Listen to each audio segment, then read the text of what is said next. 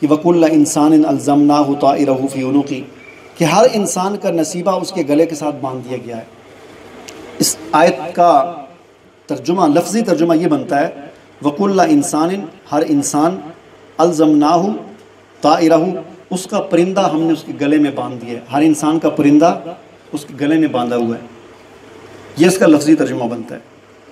پرندہ، پرندے سے مراد یہ ہے کہ عرب میں قدیم عرب کے اندر یہ دستور تھا کہ لوگ پرندوں سے فال نکالا کرتے تھے۔ پرندوں سے اور جانوروں سے شگون لیا کرتے تھے۔ فال کیسے کہتے ہیں؟ فال گیری۔ جس طرح ہمارے ہاں جنتری ہوتی ہیں کہ وہ اس میں علی بات آسا وہ لکھے ہوتے ہیں تو آنکھ بند کر کے انگلی رکھیں تو دیکھا انگلی کے نیچے جیم آ گیا ہے۔ تو آگے دیکھیں صفحہ نمبر اتنے پہ جیم پہ آگے کیا لکھا ہوا ہے؟ تو آگے کوئی کہانی لکھی ہوتی تھی۔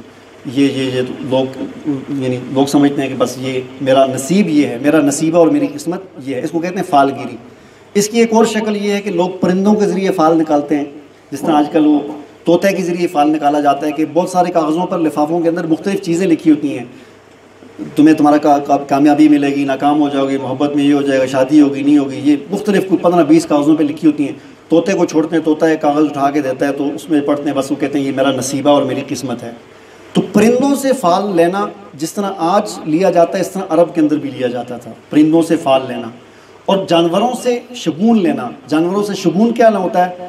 کالی بلی آگے سے گزر گئی، ہم ایک آدمی جا رہا تھا کسی کام، بڑے اہم کام کے لیے نکلا تھا گھر سے۔ لیکن آگے سے کالی بلی گزر گئی۔ تو کہتے تھے، بس یہ اب صحیح نہیں، اب یہ کام نہیں ہو سکتا۔ وہیں سے واپس ہو جاتے تھے۔ یا صبح صبح اچانک کسی چیز پر نظر پڑ گئی۔ دیکھا، کوا جو ہے، آگے دہلیز پہ بیٹھ گیا ہے۔ اس سے بدشگونی لینا۔ اس طرح کی بدشگونی لینا یہ عرب کے اندر بھی تھی، ہمارے اندر بھی ہے۔ تو یہ پرندوں سے فال لینا یا پرندوں سے شگون لینا؟ یعنی لوگ ان کو اپنی قسمت کا، وہ سمجھتے تھے کہ ہماری قسمت ان کے ساتھ شاید بندی ہوئی۔ اللہ تعالیٰ فرماتے ہیں وک اللہ انسان الزمنا طائر عربی اس بارے میں پرندے ہو کہتے ہیں۔ تمہارا پرندہ تمہارے گلے میں باندھا ہوا ہے۔ یعنی تمہاری قسمت، تمہارا نصیبہ تمہارے گلے میں ہے۔ ان پرندوں میں تمہاری قسمت نہیں ہے۔ ان جانوروں میں تمہاری قسمت نہیں ہے۔ تمہاری قسمت تمہارے گلے میں باندھی ہوئی ہے۔ کس صورت میں؟ اعمال نامے کی صورت میں۔ وہ تمہارے گلے میں باندھی ہوئی ہے۔ یعنی تمہارا جس طرح کا عمل ہوگا وہی تمہاری قسمت ہے۔ تمہارا عمل اچھا ہوگا، تمہاری دنیا بھی اچھی ہوگی، تمہاری آخرت بھی اچھی ہوگی۔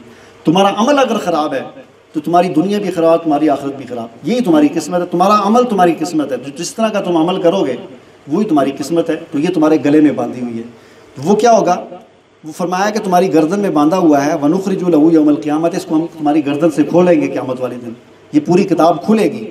جلقاہ منشورہ اقرا کتابہ کا اس وقت تمہیں کہا جائے گا اپنے اپنی کتاب کو پڑھو۔ تو پھر اس وقت تم پڑھو گے اس کتاب کو۔